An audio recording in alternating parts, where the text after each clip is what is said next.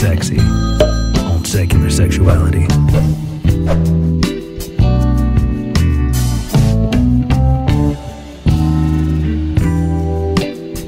Hello and welcome to Secular Sexuality, the ACA show where we seek to unleash the sexy beast within. Joining me, of course, is Vi La Bianca. Hello, everybody. And with us tonight is filmmaker, author, sex therapist, communicator, conservationist, uh, purveyor of the erotic arts and sciences. What else can we say? Uh, Dr. Susan Block. well, you can say a lot. you can call me any name you like. Okay, well, that's definitely something to keep in mind. Thank you so much for joining us tonight. Oh, my pleasure. I'm happy to be here. Yeah. Well, uh, of course, like I said, there are so many different things that we could be talking to you about tonight, and certainly hopes hope to in the future. Uh, but we really wanted to start with your book, The Bonobo Way. It came out back in 2014. Uh, we would love if anybody wanted to call in. If you have any questions as we're kind of going through this, we're going to be here at 512 686 0279. That number again is 512 686 0279. Uh, and with that, uh, thanks again for being with us. Tell us just a, a little bit about uh, this book and, and kind of where that project got started for you. Yeah, okay. Well, I'm happy to be here just to shout out to Dr. Darrel Ray, who I met um, actually before I wrote the book. Oh, yeah. And I'm so excited to, uh, you know, be in his continuing show. And uh, yeah, the uh, Bonobo Way is a book that I wrote based on the bonobos. And the bonobos are the make love not war chimpanzees who swing through the trees as well as with each other. Mm. And they are an inspiration to me. I don't use them as a blueprint, but I do use them as an inspiration. Uh, bonobos are um, important for several reasons. One, they're very close to us. They're over 98% genetically similar to us. And, uh, you know, uh, scientists are now saying that they're closer than common chimps, which is pretty damn close. And even if you don't believe in science, you just look into their eyes and you can see that missing link, you know. Uh, number two, they have a lot of sex. We'll talk about that more later since this is a show called Secular Sexuality. No question. Uh, quickly, number three, they empower the females. They're very, very beyond me too. And uh, number four, the males are good with it. Male well being, important part of female empowerment. You can't really have one without the other if you're going to have, you know, males and females and everybody in between and on the outside and the inside.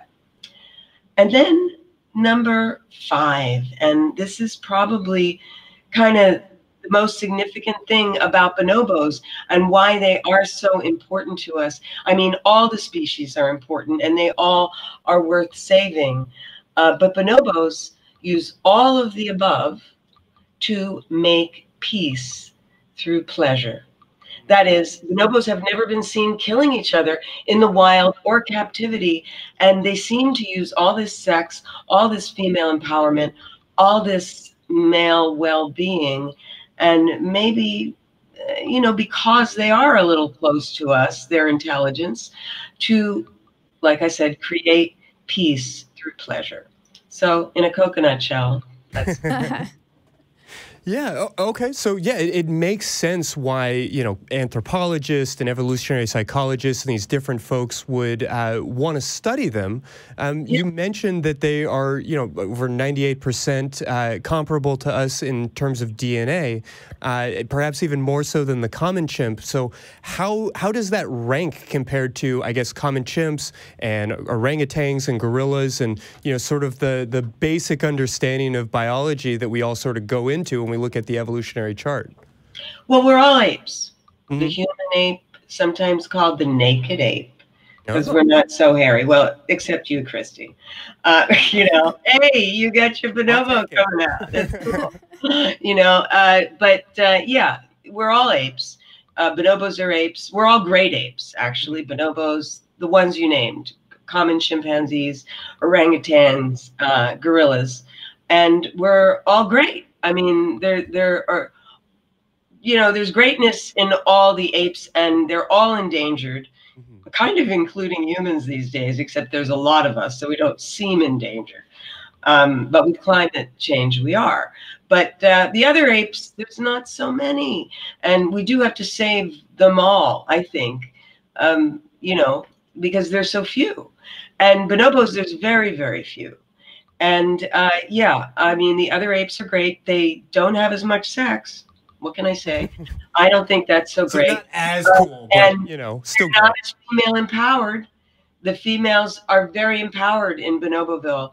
They're kind of the opposite in Common Chimpville, where the males are dominant and Mhm. might makes right. And you could say, you know, they're Trumpanzees. No, I won't say that. But you could. Someone could. Somebody theoretically, I- not you, but I someone out there. Say they're very male dominant. They're very might is right. Um, the females get raped a lot. Uh, they make war on each other.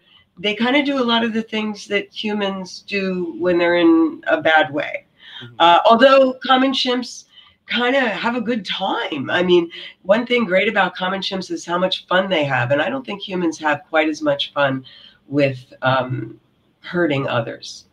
Uh, so then you got your gorillas, who are great. They're very peaceful, actually, uh, although they do commit infanticide because when the big gorilla, you know, uh, dies, um, the alpha male, uh, and usually he's not killed by the other gorillas who are afraid of him, Mhm. but then the other male gorillas will come in and kill this alpha male's fem- female harem's babies Mhm. And that makes the female um, start to ovulate and be interested in sex, which she wasn't before. So it's all very unfortunate, and it's not doesn't happen among bonobos. Uh, bonobos don't know who the father is anyway, and that's a big part of why they are so peaceful. But it's not the only reason. And then there are orangutans who are really wonderful and in some ways they look the most like humans i think. But uh, they and very smart and relatively peaceful although they have killed and uh, and they they do kill and they rape and uh, and they're very kind of solitary compared to uh, bonobos and common chimps who are very social like humans Mhm. so that's that's the a little something about each of the apes, and I love them all. But bonobos are my favorite. What can I say? I have a boner for bonobos. Yeah, as we're looking at, at all these different categories, I mean, uh, how close are we related? I mean, compared to a, a human and a gorilla, a human and a bonobo, a, a bonobo to a gorilla, I mean, what does that distance really look like in terms of just giving us an, an understanding of the significance of bonobo culture or behavior? They have charts for that. Um, I'm not the best at describing a chart, except I can say that uh, you know up until very recently they've said that common chimps and bonobos are the closest equally to humans. Mhm. and then come gorillas, and then come orangutans. And lately, I've just been reading and seeing. I'm not a primatologist, I'm a Sure, sure. sexologist who loves bonobos, but I, I read and I talk to a lot of primatologists, and a lot of them are saying, hey, we think bonobos are a little bit closer. Mhm. So, hey, yay, bonobos. Go, bonobos. Well, it's, it's just an interesting idea to find this sort of previously neglected uh, model, you know, for humanity. Not to say that we should be modeling ourselves after another species, but simply that we can recognize this sort of narrative about ourselves. You know, I mean, Stanley Kubrick in 2001 and all of these things, we look at chimpanzees and we think of that as sort of our distant cousin. And Yeah. bonobos weren't really even known about, uh, I mean, by anybody until relatively recently, but it also seems that they've become very popular in, in common culture in only the past couple of years. I, I Well, know. You know, common chimps were discovered in the 17th century, Mhm. and that was a big thing, and it still is a big thing. And they are very close to humans, and that is the idea that we have of why humans are the way we are in many ways. And and there's this whole idea of the killer ape, mm-hmm. and that uh, common chimps are killers, and they are not as bad as humans by any means. And all the great apes, except for bonobos, so far, I hope we don't teach them how to kill. I hope that bonobos can teach us how to make peace through pleasure before we teach them how to kill because they are a learning species just like we are. Mm-hmm. They're not all about instinct. You know, I don't know who is besides maybe just fruit flies, but uh, mostly, you know, I think non human animals are more thoughtful than we give them credit for. But certainly bonobos are, and they learn from each other and they learn from humans. They learn how to speak um, through sign language and uh, through computers. And I've seen bonobos defeat humans at, you know, computer games. And uh, anyway, and chimps are also very smart. And so uh, up until 1930, nobody knew about bonobos. They were discovered in 1930 and they were thought at first to be a kind of junior common chimp because their head is a little smaller. They're actually taller and they stand up and they walk around on two legs more, uh, but th- their head is smaller, so they discovered a skull and uh, they thought, oh, this is just a little common chimp, but it's really a bonobo and it's a separate species. And uh, they gradually started, they being primatologists, started to see that. Um, Yerkes was uh, someone who was at my alma mater, and he had a wonderful uh, chimp that he named Prince Chim. He didn't know why Prince Chim was such a cool guy. And non-violent compared to the common chimp that he had. And uh, they hadn't discovered bonobos yet, but then they did. And wow, Prince Chim was a bonobo. And, uh, and gradually they started to acknowledge this, but it was still kind of not something that most primatologists wanted to study in the 50s and even the 60s uh, because bonobos were just so sexual mm-hmm. and they look like us or maybe like the professor that you're trying to uh, do your dissertation for you know and you're trying to get tenure and uh, it's just not you know it was awkward it was embarrassing sure. to study bonobos. They're so sexual. They have sex right in front of you. They invite you to have sex. Uh, they are wild, and uh, and they don't fit into those boxes of the killer ape. And and so you got to start. And they're female empowered, and all these things. And so it took a while before the hallowed halls of academia were filled with bonobo loving primatologists. Mm-hmm. And now they are. I think they kind of are. I think it's happening. Yeah. I think that um, bonobos are being acknowledged. They're being taught in anthropology classes, in psychology classes, and in all the classes, and certainly primatology. And they're being studied uh, as much as common chimps, and they're being acknowledged.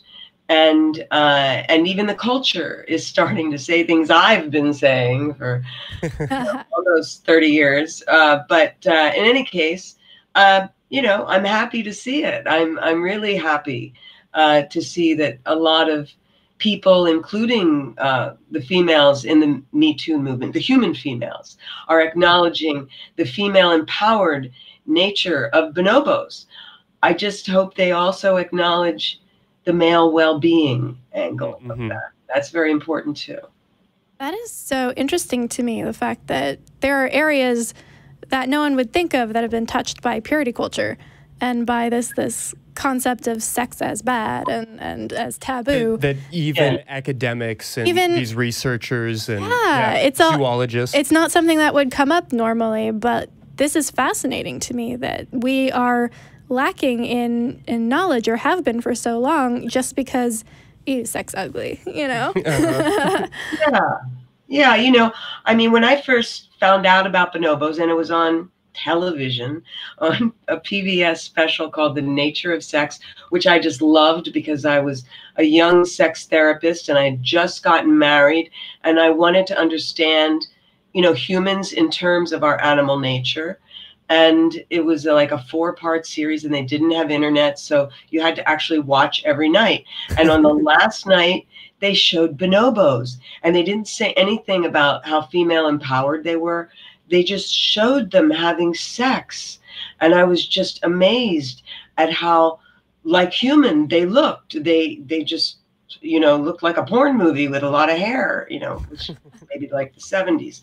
Uh, so anyway, I just thought, wow, this these are are sexual creatures whose whose community is is based on a cohesion that is established through sex. And then the announcer says, not only that, they don't make war, they don't kill each other. And I went, oh my God, this is make love, not war. This is the hippie ethic that everybody's been debunking. Debunk, debunk. Humans aren't like that. We can't do that. We all turn into Charlie Manson or George W. Bush.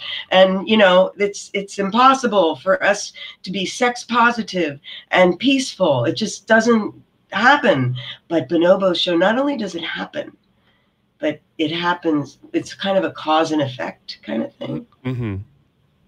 Yeah, it's it's just remarkable how as our our understanding of science expands, as our understanding of the world expands, how all of these boxes that we like to put humans in, as you know, only existing as male and female, as only existing as heterosexual, as only existing as these uh, warlike uh, primates with more sophisticated and advanced clubs, rather than seeing us as these hypersexual bonobos just with a more sophisticated language. Uh, as we expand our definition or our understanding of the world, our definition of ourself is changing. I, I think that's a really exciting time to be a part of. Absolutely, Christy. And you know, as a sex therapist, a fellow sex therapist, uh, although of course I'm not licensed and or accredited by AASECT, although I did just uh, deliver the Bonobo Way at AASECT. Oh, wow. uh, so I, I do uh, participate in my outre way. So in any case, yes, I uh, I do have a lot of kinky clients. Um, I have a lot of clients who are from very religious backgrounds and live in religious cultures and want to understand their kinky or somewhat non-vanilla desires and want to understand you know why and how these occur. And bonobos do help with that. Like I said, we shouldn't use them as blueprints. We shouldn't all, you know, have sex uh, with everybody in the community, uh, as bonobos tend to do. And we shouldn't all, you know, have uh, sleep in trees. Um, you know, although I don't know, some of that could be cool. And some people might like having sex with everyone in their community. Uh, and bonobos show that there's nothing wrong with that. And uh, and they show that you know bisexuality, uh, certainly a certain level of androgyny. The females are very male in many ways. The males are very laid back and in touch with their feminine side. Um, they do a lot of outer course. It's not all about penis and vagina. Yeah. They they do a lot of um, licking and touching and squeezing and and tickling and a little bit of spanking even, uh, and they they just you know they have a, a kind of a kinky way of approaching sex, and I think the the really bottom line of kink is that it's non-reproductive sex. Mm-hmm. And uh, a lot of people say non-reproductive sex is not natural. It's natural to put the penis in the va- vagina and make a baby. Well, okay, that's natural, but bonobos show us that a lot of other kinds of recreational sex is uh, is also quite natural. And not only is it natural, but it's good. It's good. Yeah, it serves a good in that religious way good for the community. Mm-hmm. Yeah, that, that's something that I, I feel uh, I hear over and over and over again, particularly when we're talking about homosexuality or these different forms of sexual expression. Um, I mean, the Catholic. Bonobos are gay, and that's okay. Yeah, yeah, absolutely. Uh, this idea that sex serves a broader purpose than procreation, that sex exists as a form of communication, as a form of uh, soothing, as a form of, you know, both self soothing and of maintaining group cohesion. Uh, and yeah, I mean, we see it every week in couples therapy and things like that, the importance of sex to bond two people together, but it certainly doesn't have to be limited to that either. Right. And, you know, if you're tuned in live, happy self love September. uh, and then, of course, May is masturbation month. And as St. George of Carlin said, if God had intended us not to masturbate, he or she would have made our arms shorter. And that is so obvious when you look at bonobos, and they do love to masturbate. And I must admit, they masturbate more in the zoo and in captivity and actually maybe humans would too if they were allowed to. Uh, and because you know it's a, a, little bit frustrating in there. And masturbation is a soothing action. Um, it's it's trying to help yourself with your problems and with your needs and and your need to release. Um, and uh, and I guess in the zoo it's like a prison in a way even though mm-hmm. they have a pretty nice pad in some of the zoos. Uh, but you know they need to do a lot of self-soothing. Um, so they probably masturbate more in the zoo. But uh, all these other kinds of so-called kinky uh, activities bonobos engage in as well. Like um, you know foot they some of them really get into the foot fetish. They're like rah, rah, chewing on these toes.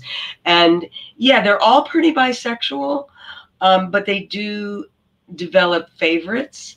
Mm. and sometimes the favorite is of the same sex. And the favorite doesn't usually last their whole life although it, he or she could. Um, and so you know sometimes they could be more gay and sometimes more straight and sometimes completely bisexual. Certainly, uh, the the homosexuality among bonobos, the, the gay sex, whatever you want to call it, is uh, very, very important to keeping the peace. Mm. I'll just put that out there. so is the, the the I almost said regular. So is the penis and vagina and the boy girl sex. That's also important. Uh, it's all important, but it's very interesting how important the gay sex is to keeping the peace in Bonoboville. Well, and it's just fascinating to me to think of like a bonobo Kinsey scale and this idea that there is genetic variability and variability of orientation, and that this, you know, very close cousin to humanity models these behaviors that we think of as being very human and oftentimes for many of us as uh, corrupt and as evidence that our divine nature is being destroyed by the world when in reality we see it beautifully in the natural world in a way that's functional. Yeah, and that's what I tell my clients, you know, it's natural I mean, not every natural behavior is a good one. Sure. Rape is natural, mm-hmm. not a good behavior. Non consensual sex in general is pretty natural. Uh, I mean, bonobos do that, but not hardly at all. And if they do, and you know, of course, if it would be a, a male with a female, although it could be a female with a male, usually the other bonobos will come in and jump on the culprit Intervene. and stop and certainly that's a big, big part of female solidarity because the males are bigger and stronger and they could defeat the females. A lot of guys say when I do my Bonobo Away lectures, why do the guys put up with this? You know, I mean, they're just like the common chimps. They could beat the females down easily, yeah. physically, but they like their life. The females treat them good, and if they do beat on a female, her sisters will beat up on him. Mm. And whereas one female is not going to beat is not going to succeed against one male, two probably will. And three, well, it's girls' night out. And uh, so the boys know to behave, uh, or else they're in trouble, as well as they kind of like the life. They do like the life. And the females are very good to them. They provide them with sex as well as they encourage them to have sex with each other, which they also like. Yeah, you you have made it clear that you know uh, we want to sort of look and learn from without necessarily taking a direct blueprint. And of course we want to be aware of sort of the, the naturalistic fallacy. Like you said just because something is natural doesn't make it noble helpful good right just i mean whatever term we want to apply there. But what are some of the the aspirational aspects of bonobo culture that you wish humans would see more of in themselves? I mean i, I definitely hear what you're talking about with female solidarity with uh, female empowerment as well as uh, male welfare. But what what might that look like uh, for humanity? Well, first of all, just to address your particular audience. Sure. Um, bonobos are not religious, obviously, uh, but they are, in certain definitions of the word, spiritual creatures. I, I was once on a show where a priest said, uh, no other um, creature on earth is spiritual. No other creature could go to heaven. And I don't really believe in heaven, but I'm always like, hey, if it exists, who knows? I don't know. But I would put my money where my mouth is. If it exists, bonobos are going there. And if it exists, lots of animals are going there, not just humans. Well, humans aren't that special of an animal. And bonobos they they have this this love and this compassion. And yeah we can explain it through their actions um, through their female solidarity their female empowerment through the male well-being through the peace through pleasure through the sex. But it gives them this empathy and this this holiness i think that uh, that can help a lot of people who uh, are suffering from religious sexual abuse and trying to move beyond that and find not a model, not a role model, but kind of an inspiration mm-hmm. and uh, and something special. Bonobos aren't angels; they're animals just like us, and they are violent. They can be, but they just don't kill each other. So uh, I maybe they're more in touch with their angel side than we are. I don't know. Um, uh, you know, they have problems, but uh, they seem to be able to work their problems out. Uh, of course, human encroachment could uh, stop all that. Now, by the way, speaking of religion, I just want to show you my pillow. um, see, I can't ever understand how uh, religious people want to like have a pillow where they lean up against the sacred Last Supper. But uh, you know, hey, I think it's a beautiful painting, and um, I I love Jesus. A lot of people say they they ask, uh, what would Jesus do uh-huh. when they don't know what to do? Sure. And you know, I do too sometimes. I, I look to religious figures. I also look to atheists like Spinoza. What would Spinoza do? I also look to the bonobos. I say, what would a bonobo do? If I'm not sure how to handle uh, a situation.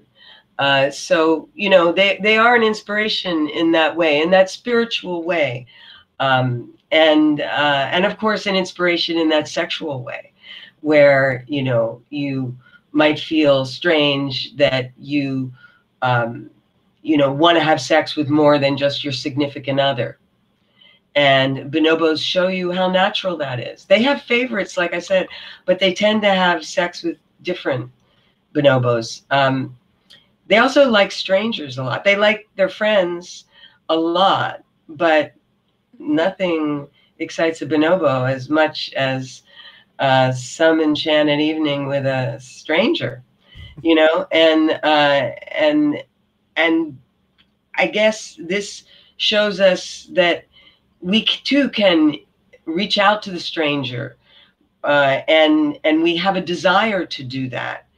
And that that desire is part of our our tendency our our initiative to make peace through pleasure.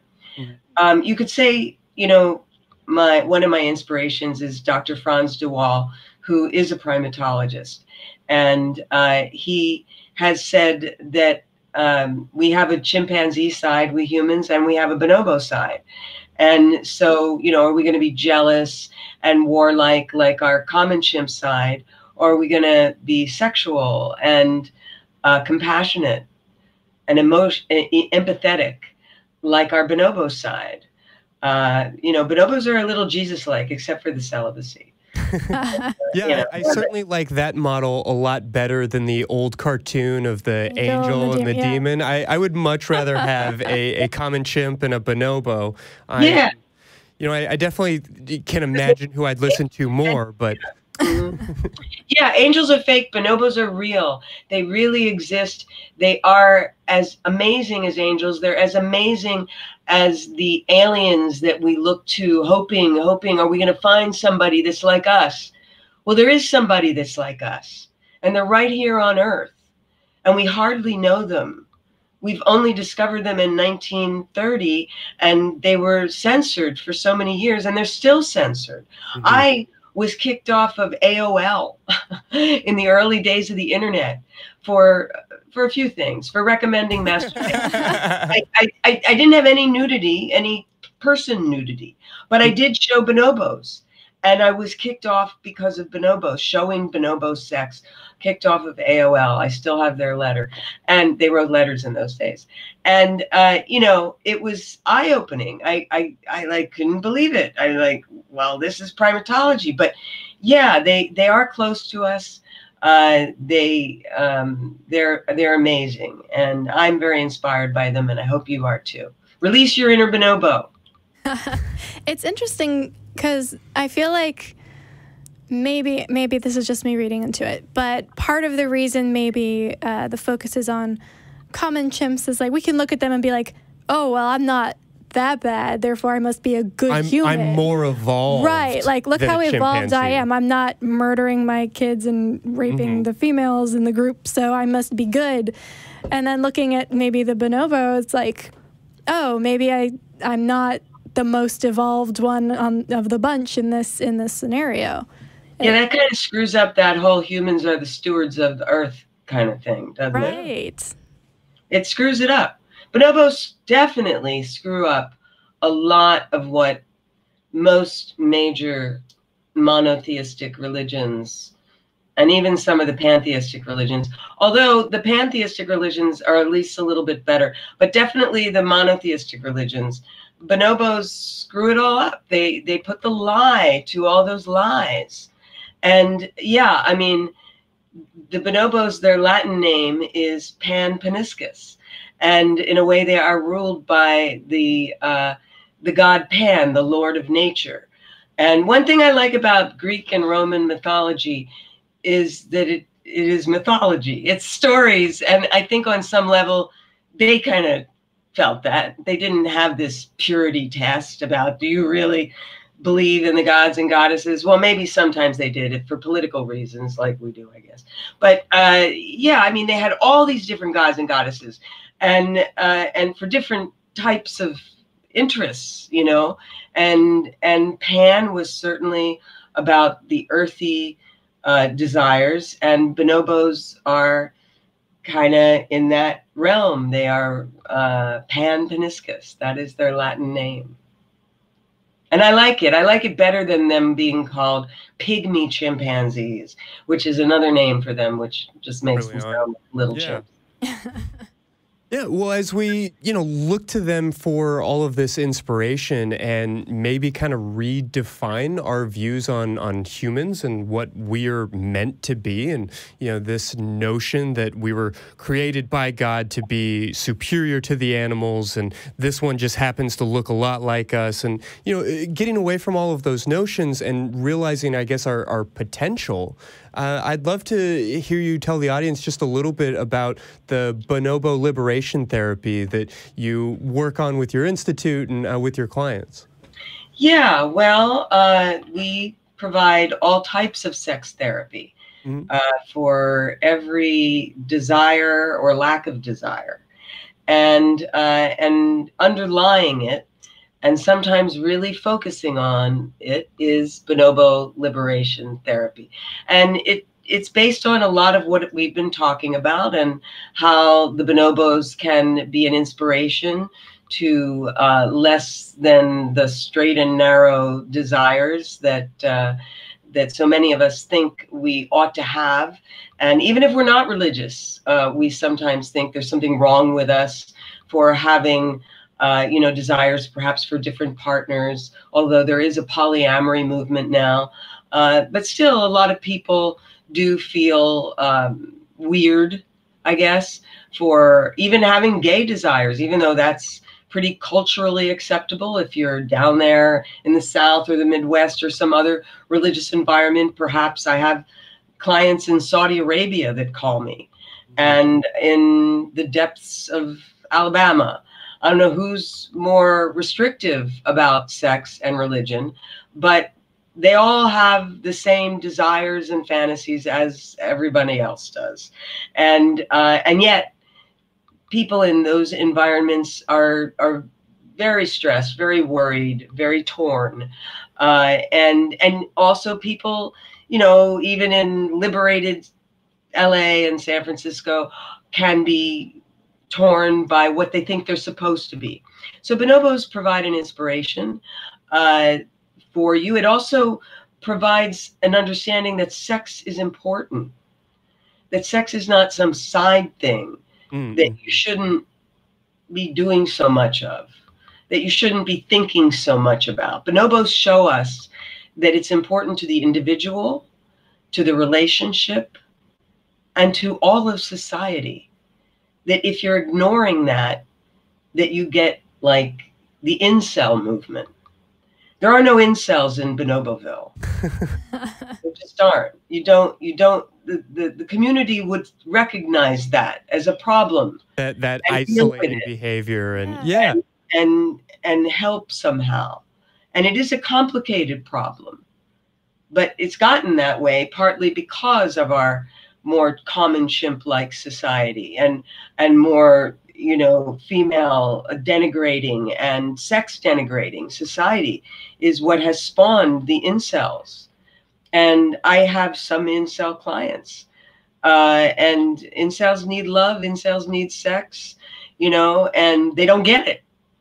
And uh, and and bonobos show us that they should get it, and it's something that's an important part of. It should be an important part of feminism, but too many feminists just want to say, "Oh, these guys, they don't know how to treat women. Just throw them in the trash." Yeah, yeah. no, I, I, certainly hear a lot of that. And I, I wonder uh, how different, I mean, even just YouTube culture to, you know, speak directly to our audience tonight, how different YouTube culture would look if people understood what you said at the top of the show about how female empowerment and male welfare are not antagonistic to one another. It, it certainly isn't as if as one goes up, the other goes down, but instead that just general well being for everybody can be lifted up. And then we don't have angry young men screaming at each other on the internet and or bringing assault rifles into movie theaters.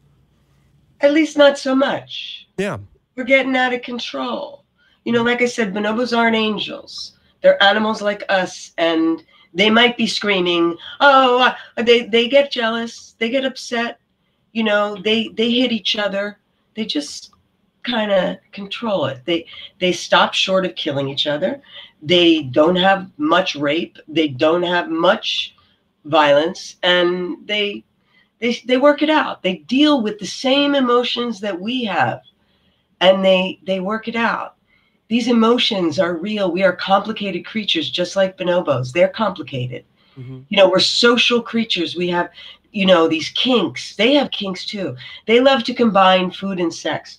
By the way, that gives me an opportunity to promote Food and sex? Splosh and art. Uh-huh. Bonobos love to splosh. There's stuff on bonobos in here, but it's mostly about humans. Um, but it's it's um, it's a particular fetish. I have magazines on all different fetishes, uh, but uh, this is one that basically combines food and sex in the same act. I'm not saying all humans should do that by any means, uh, although I do think all humans should recognize that food and sex are two of the basic needs of life, and uh, and they're also two basic representations of love, and uh, that they don't necessarily equal love, but that we use them a lot to mean love, and and emotion, and and that we should um, deal with that. Anyway, some people deal with it through a kink called Splosh, and so we have a magazine devoted to Splosh and art, featuring Danielle Watts and Chef P Live, and a lot of vegan Splosh here. By the way, we also have Spank and art, which is um, another fetish, and it also features bonobos because they slap each other, spank each other, Mhm. tickle each other. They have kinky, they have aggressive, uh, erotic maneuvers that they do, and that can sometimes make people feel like, oh, they're not so peaceful. Well, excuse me, they are. You could also say that about some BDSM people. Oh, they're you know they're they're hitting each other. Well, you know we have violence in us, and it's good to get that out in a consensual, uh, careful, responsible way. Bonobos seem to be able to do that, and we can too. So you know we have all these kinks. Oh, Uh, sorry. to, you know, it, it's not all lovey-dovey, but on the other side of it, bonobos aren't always having hard, you know, porn star sex. They have a lot of slow sex. A lot- In fact, they take all day to have sex. You know, a lot of foreplay. So foreplay is cool. You know, sometimes, in fact, this is something odd that I'm still trying to wrap my head around. Bonobos, actually, the penis and vagina part is, or in anus, uh, is very quick. It's just a few seconds. They don't spend a lot of time on that. They spend a lot of time on what we might call foreplay, on the licking and the sucking and the mm, squeezing and rubbing. Uh, they do a lot of that. And they kind of demonstrate to us how important foreplay is.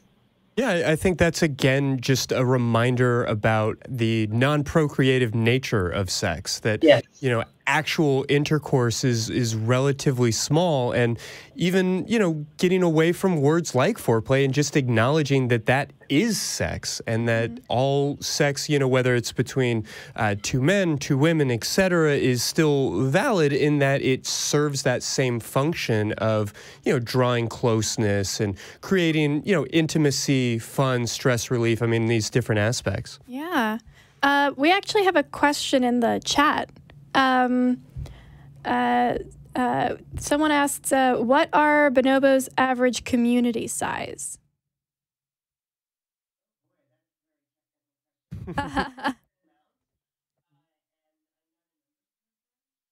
But uh, I would say anywhere from 10 to 50.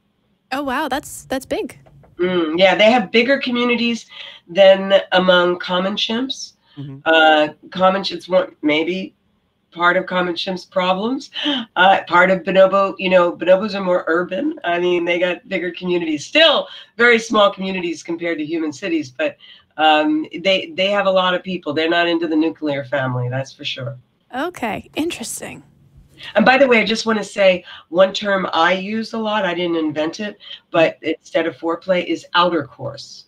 Yeah, yeah, absolutely. I think that's an know, important idea. that can be just as important as the so-called main course. It's not an appetizer. it's, it's the thing, outer course, and it can be much safer sex than intercourse. And uh, and yeah, bonobos, the females do a lot of what the primatologists call genito-genital or GG rubbing, where they rub each other's um, vulvas and clitorises together, uh, and uh, and they have orgasms. They have big orgasms from doing that, and they scream. They scream because, you know, why do why do females scream? It's interesting. Um, they scream more when there are others around uh, than when they're all alone. Why do you think that is? Oh, I actually think I, I looked this up, this up once. Mm-hmm. Um, doesn't it have something to do with attracting other mates and letting them Yes. know, like, I'm Yeah. here? They want other mates. Nature- Exactly. They're not Internal mate so selection. at least not mentally. They want others to know they're hot, they're available, that they could do it with you too. You know, so they moan and they scream. And, and interestingly, among bonobos, they do it not just to attract males, but also to attract other females. Hmm. Hmm. Yeah, Oh. th- that aspect of it I definitely wasn't aware of. Um, but you you reference in your book a number of times, uh, um, I'm sorry, Dr. Christopher Ryan's work, uh, Sex at Dawn. which I Shout out to Dr. Christopher Ryan, author of Sex at Dawn. Yeah, absolutely. I found his book to be absolutely fascinating. I think it may be in part, uh, there's certainly others, but in part why bonobos are becoming more uh, understood and recognized just in pop culture. Um, but anyway, he he does Yeah. really illustrate that idea of uh, internal mate selection and this notion that um, monogamy, at least sexual monogamy, is not all that common among among certain types of primates, bonobos in particular, and in ancient humans, likely. Uh, we were not monogamous for most of our existence as a species, and that those, uh, I believe the the scientific or scholastic term for it is uh, female vocalizations. Uh, those those great uh, bed shattering moans are a way of inviting other people into the party, which I think is just Yes. completely different from the worldview of sexuality that we're taught in, in school, on TV, I mean, just in every other aspect of life. And let us be taught that now. And let us say amen and a women. so, uh, yes, and that's in Krista's book, I believe, about the female vocalization. Mhm. Uh, but uh, but yeah, Krista's book and Sex at Dawn, and he's coming out with a new one, uh, Civilized to Death. Mhm. And I do think that a lot of people are opening their eyes to our polyamorous past, or let's just say our non monogamous past, Sure. and to seeing, you know, hey, maybe if the diet was good, um, maybe the sex life was also good. Um, maybe certain things about that were more egalitarian. You know, he talks about fierce egalitarians and that they were very adamant about uh, nobody getting too much credit for anything, and uh, and that you know if if you got um, you know if you brought home a big kill from the hunt, and bonobos are hunters by the way, they're not vegetarians.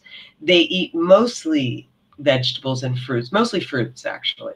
Uh, but um, but they do eat a little meat every once in a while. So some people say that means they're not uh, peaceful, but they don't kill each other. That's the main thing. They don't kill each other. Okay, so don't get on them for having a hamburger every once in a while. All right. So anyway, uh, yeah, uh, but but I think a lot of people are seeing. Are, are looking at our, our distant prehistoric past and seeing inspiration in that, partly because of you know just the qualities of life and partly because you know our our massive civilization might not be what we would call so civilized and maybe the most humane creatures aren't even human Hmm. they're bonobos because bonobos are kind of close to what these prehistoric humans may have been like I mean, I personally, and again, I'm, you know, a student of, of uh, Sex at Dawn and and a lot of things like that. And I don't, I don't think that we started killing each other. Certainly didn't start making war on each other until we got civilized. Until we started having something worth killing over. Uh, bonobos don't have anything worth killing over. You know, common chimps are much more bloodthirsty and they have territory. Uh, bonobos have territory, but maybe they don't take it so seriously. But humans, yeah, we get territory. We own that land. We own the animals on that land. We own the crops on that land. We own the people on that land. And then when somebody wants to steal it, we got to defend it. And then we start killing people. And we start war and uh, all that stuff gets going. And my feeling is that, you know, probably was a woman who discovered where babies come from, you know, but once men got the news, good news, the bad news, Mhm. yeah, there's one dad and it's you or it's not. And then they start going, whoa, wait a second. I got kids and these are my kids. These are my, these kids belong to me. And so where did we get these kids from this woman? Well, that woman belongs to me. I can't have her having sex with other guys. Oh my God. Because if she has sex with other guys, those kids don't belong to me. I'm growing other kid, uh, somebody else's kids with my money, my crops, my animals, and this is bad. Can't do this. Got to imprison the woman. Got to imprison the kids too, you know, and put them to work on the farm. Put the woman to work. Lock her up and and defend her with uh, spears and then guns and then bombs. Nuclear bombs, yeah. yeah. Yeah, and I, think it's important to remember that uh, these ideas of mate guarding for inheritance, of developing land, of agriculture, and uh, the territorialism that comes from this is the house that I built, that all of that is basically a blink in the eye, uh, evolutionarily speaking. That that's not necessarily a part of our genetic heritage. That's right. just something that we only very recently. I mean, the advent of agriculture is a blip in our existence in basically this state genetically. Yeah. So we can, you know, we don't have to say that there's a, a, right or a wrong to our genetic heritage, but this idea that we have to be this way because that's the way we were built or designed or developed uh, just isn't accurate.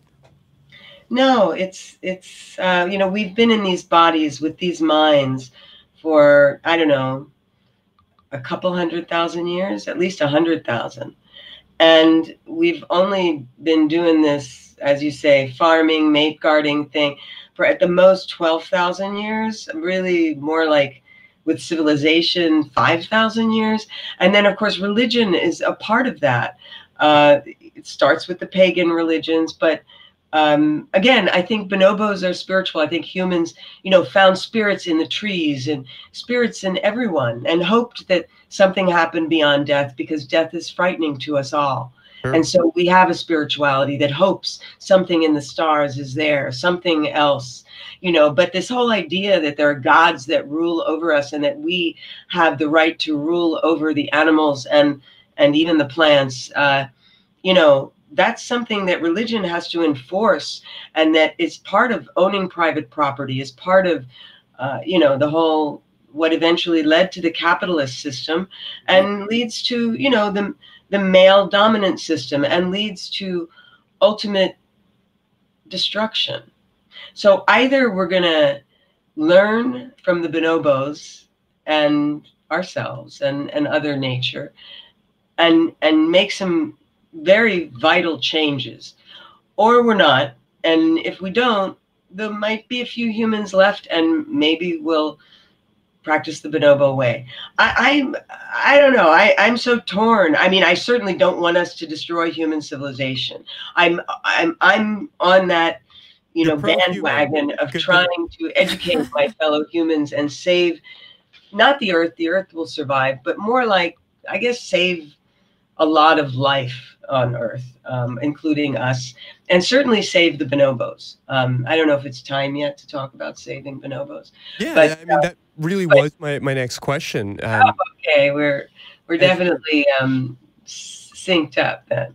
So we should save the bonobos. I know there's a lot of species that need saving. We're killing so many every day, and and they all are worth saving but uh, you know bonobos are so close to us and they have so much to teach us and uh, and so you know i have a, a foundation block bonobo foundation mm-hmm. uh, but we contribute to three very special organizations and i encourage you to contribute to them and i'll describe them just a little bit each of them first is um, lola ya bonobo which uh, rescues bonobos um, the bushmeat trade is rocking and it's horrific. Bonobos basically are doing fine in the jungle. Well, you know, all the species are suffering from the degradation of all the rainforest of the, of the main mm-hmm. rainforest in the Amazon as well as the Congo. They live in the second biggest rainforest in the world, which is the Congo rainforest in the Democratic Republic of Congo. And they though bushmeat hunting is illegal, they do it, and uh, and bushmeat is not on the menu, but you know you can ask for it and get it, and it's terrible, and and we have to do what we can to stop it. But meanwhile, when they kill a mother, the uh, the babies are left, and they don't generally kill the babies because they're too small. They don't have that much meat it's disgusting, but you know. Anyway, so the babies are saved. Sometimes they sell them to a zoo, and they shouldn't because the zoos don't know what to do with them. Any zoo that would buy a baby from uh, black market people like that is not a good zoo, and uh, and so you know sometimes my friends run by Claudine Andre, who's the I call her the Joan of Arc of bonobos, and uh, she's fabulous. And she founded Lola Ya Bonobo. And my other friend Vanessa um, Woods uh, is also there and runs Friends of Bonobos. And Dr. Brian Hare is associated with uh, the Friends of Bonobos, and they have a sanctuary outside of Kinshasa called Lola, which is bonobo, means bonobo paradise. Lola Ya Bonobo, and they bring these uh, almost dead little babies back to life, and and then ultimately send them back into the jungle or the halfway house, really, the jungle near Lola, and uh, and a lot of them do very well. And then there's another organization called Bonobo Conservation Initiative, which is run by my other friend, who I've known since the 1990s, Sally Coxe. And uh, Bonobo Conservation Initiative is working right in the jungle, right in the Congo rainforest uh, with the villagers to stop the bushmeat hunting. They are, they have their people who are, you know, defending the bonobos literally. And they, there are the difference is in their rainforest. There's a lot of um, villagers that live there, village um, there's a lot of people living among the wildlife and but they live in a very very almost prehistoric way. And not quite not quite. Everybody nowadays is influenced by civilization but but they're kind of close. And and they understand they uh, the Mongandu people called the bonobos are brothers and sisters. Uh, they they understand the bonobos are special and should not be killed uh, and should not be eaten, that that's like cannibalism. But there are people that come in from other cultures like Rwanda and other places, and, and they kill the bonobos. And so Sally and the Bonobo Conservation Initiative, please give to them because they help, they've established the Bonobo Peace Forest and uh, they help to stop the killing and they deliver babies to Lola Ya So it's like a, a network.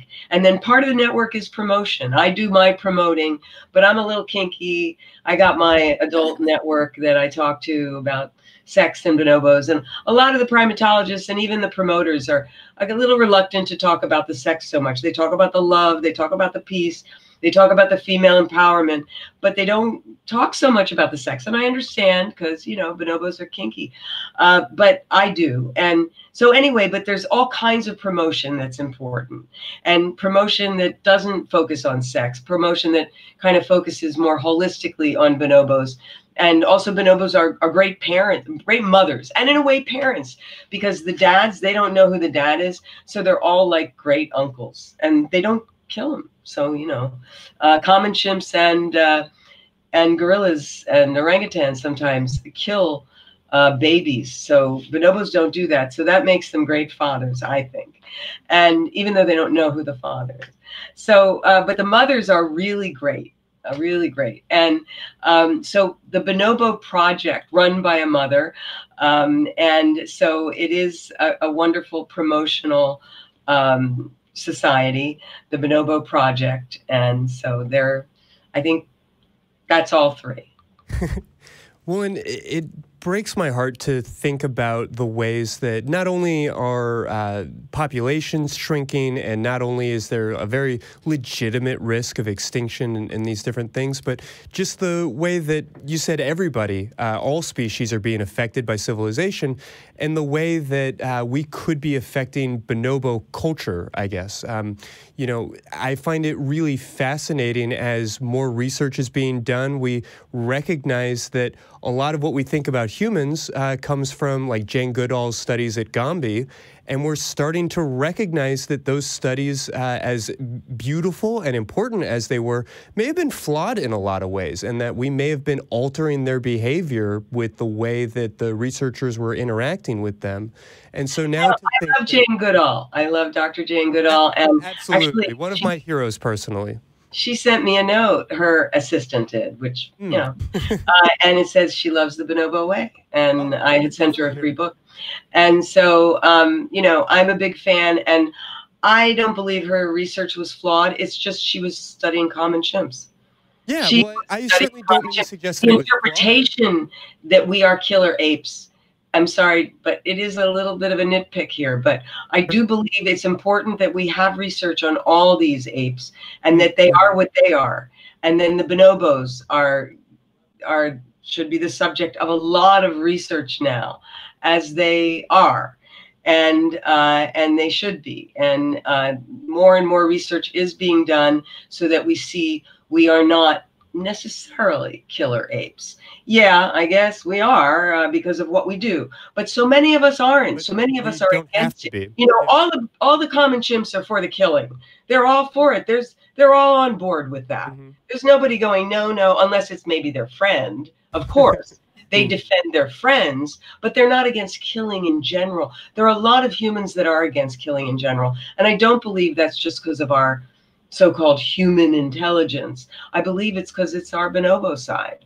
It's the side of us that really doesn't want to kill, that that knows that killing hurts. And there are a lot of people who do kill and come back with something we call PTSD because killing hurts, not just the people who are killed, although it hurts them a lot more, but it, it does kill, it hurts the people who do the killing.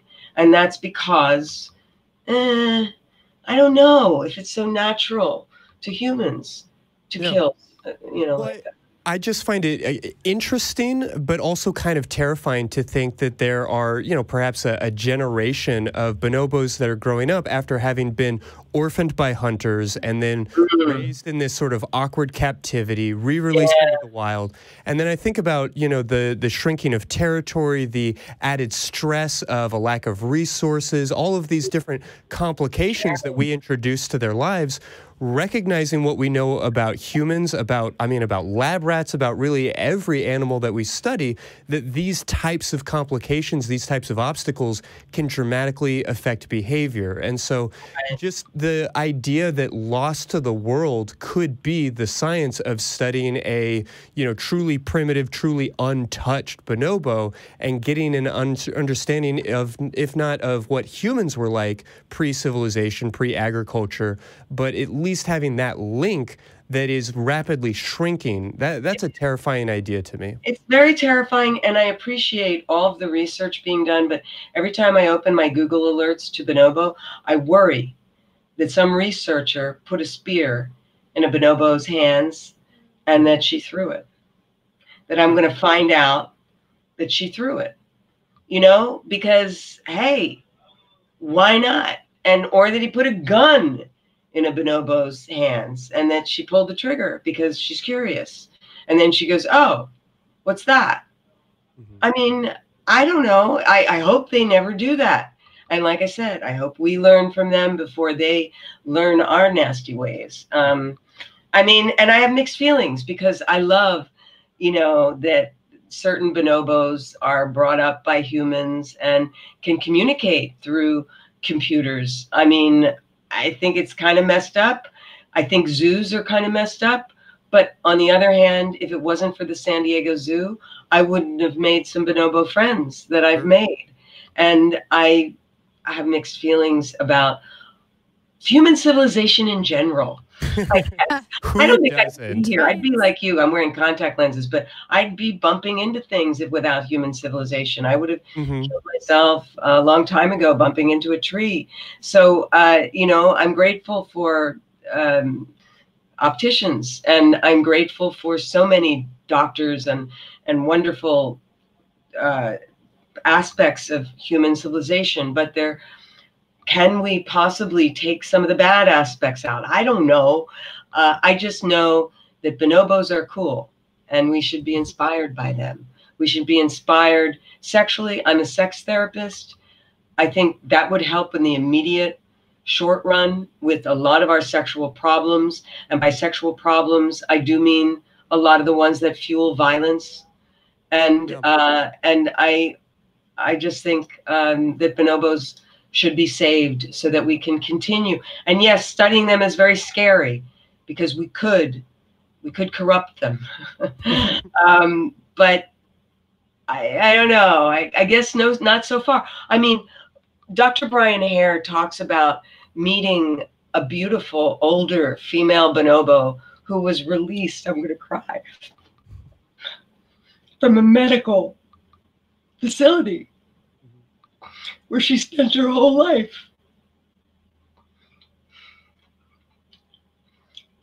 And he thought she would be angry with her. With he thought she would be angry with him. And she wasn't. She embraced him. Really they is do a understand compassion. thing. And they can even feel it when they've been mistreated. It it shows that, you know, all that stuff and I do believe it as a sex therapist that if you've been abused, you're more likely to abuse, but you don't have to. I think it's a, a very beautiful thing to see our own humanity sort of reflected in these different ways. And uh, I, I do hope that we continue to, to learn and to just build up a better understanding of our whole world and ourselves as part of that. Um, I do want to take this moment to, I guess, uh, apologize to everybody watching. We've had a, a little bit of trouble with the phones, but we do seem to have them working now. We have got somebody on the line. So uh, if you'd like, uh, Dr. Block, I'd love to jump on the phones with Nicole. Sure. Okay, let's do it. Hi. Nicole. Hello. Hey, what can we do for you tonight? Um, well, I just have a, a well a couple questions about bonobos, but uh, you know wh- whatever y'all have time for. um, one of the things I was wondering um, is the size of their community, and if that has anything, uh, if that affects, um, well, basically, basically their monogamy or lack thereof. Like, does it does their aggression change for a larger size community, or do they regulate their community to keep it smaller on purpose? Like, is there any any way to keep it small? Sending people Like, off and uh, splintering people or splintering bonobos off intentionally and, and things like that when they reach a certain size. That, that kind of thing? Right, right, yeah, just just for the size of it, not you know somebody did something wrong, we got to kick them out. But Sure. hey, our community is getting too big. It's time for you, this one to go for a reason or another. um, and if if that has anything to do, you know, if if that affects their aggression. Uh, or, or anything like that, just Mhm. the, the size of the community. Okay, well, it sounds like your question's kind of connected to the one we had earlier. And yeah, I mean, they, they have larger communities in general than their counterpart of common chimps. And in fact, if zoos have any problem, it's often because their communities are so small and bonobos don't have enough variety. They like variety. Bonobos like variety in sex and friendship, in sharing food. Um, they they you know, one of the theories about why bonobos are the way they are and why common chimps are the way they are is because bonobos kind of grew up in the Congo on the side of the river. That was the jungle, and they are in the trees above, you know, the the bad critters, and they're the biggest critters in the jungle, uh, aside from humans now, of course, are shooting them. But when there's no humans, they're the biggest, so they can be very relaxed about life. And common chimps are out there in uh, the savannah, and uh, they have a harder time. They have leopards and uh, lions after them, and so they kind of have to be a little more aggressive. Um, they're not the biggest, and they have to go in smaller groups. Bonobos love to be in big groups. It's good when the females have a lot of friends, a lot of female friends, so that they can gang up on a male who gets out of line. Uh, they don't like to kick other bonobos out. They just like to discipline them, or what um, Claudine Andre of Lola Ya Bonobo calls teaching, uh, which doesn't involve killing, Mhm. but it does sometimes hurt. Uh, because if the bonobo male is so stupid or uneducated as to um, rape a female or attack her children, her girlfriends will gang up on him, and that's why they like um, large communities. They like they like to share food. They they they like an orgy. Who doesn't? Um, right, exactly. We just don't like to allow it. We don't like to allow ourselves. But really, who doesn't? Who who doesn't read about that Roman history and go, hmm, well, that might have been good if they weren't just killing all the people at the end of the orgy. But if they just had the orgy, hey, cool. yeah. Well, that's bonobos. Um, and I, w- yeah, I, I was also wondering, have they done any um, uh, that you know of brain scans on bonobos versus people to see how how they they differ um, as far as um, when there is something negative that happens, you know, when they want to, as you uh, discipline the male, um, and how the brain works when they decide how to discipline him. If that question makes sense. Oh, it makes total sense, and I don't think I'm the one to answer it. Uh, although I do think they have like uh, the similar parts to what we have. They have the intelligence of what we call, in human terms, a seven-year-old. I, I mean, I think that's just, and keep in mind that's human terms. In some ways, they're more intelligent than us, but yeah, they can get to the level of a seven-year-old in terms of um, our capacity for learning, uh, that kind of thing. Um, and common chimps tend to be better with tools. Bonobos are better with communication. Mhm. Uh, and uh, and their language could be very very complex. We don't really know. They speak our language better than we speak theirs. We don't really s- understand bonobo. Who, who, who, sign they understand English though, or whatever language, and they will communicate with sign language, and they will communicate with computers to point to things. So that so the question was about bonobo brains, and I'm not equipped to answer exactly what the differences are. There are differences. Uh, they're they're over 98% genetically similar to us. Um, although I do understand, and I'm not a geneticist either, that uh, the way that their genes are expressed is different in such a way that it causes a lot of difference. So that even though they are extremely similar, it's the expression of genes, which don't ask me what that means, except that it means a lot of what being human is about. And that And common ancestry. of our genes is different than theirs. Mhm. Mhm. So you got to have a primatologist or a neurologist, maybe, or a geneticist on here to get into that Yeah, stuff. and, and I certainly don't want to speak out of turn because I am none of those things. Uh, like you, I understand their brain structures to be very similar, uh, but but certainly different. Uh, I am aware of some uh, cortisol level testing and some various research along that line. Uh, and from what I understand, they seem to have a greater ability to downregulate stress hormones uh, and to basically experience anxiety or uh, maybe a, that adrenaline rush feeling, those sorts of experiences potentially at a, a higher level. That's anthropomorphizing a, a little bit and it gets very tricky, but uh, seemingly they do have those stress reactions, but have a greater ability to sort of manage or down regulate that stress reaction, uh, at least per my understanding. I, um, I'll certainly uh, take a look and see what kind of research I can find on that and make sure to post that in the uh, footnotes to the episode. Oh, I want that Bonobos down regulating their stress compared to common chimps. Hmm. And it was specifically a study of males. And it did show that bonobo males are a lot better at doing that than common chimps. Now, it didn't, I don't know, this particular study didn't compare it to humans, but it did show why common chimps, even when they're young, they're basically grumpy old apes.